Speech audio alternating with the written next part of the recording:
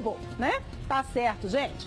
Olha, o ônibus da linha 4100, que faz Santa Luzia via Kennedy no terminal Vilarinho, ficou, gente, completamente destruído depois de ser incendiado em Santa Luzia, na região metropolitana de Belo Horizonte, na madrugada desta quinta-feira. Veja aí as imagens. De acordo com o boletim de ocorrência da Polícia Militar, o motorista contou que chegava no ponto final do coletivo, lá na Praça Kennedy, no bairro Kennedy também, quando cinco homens o abordaram. Mesmo falando que ele estava a caminho da garagem, os homens entraram no veículo, pularam a roleta, jogaram combustível e atearam fogo ao veículo. Eles fugiram sem levar nada e o motorista não se feriu.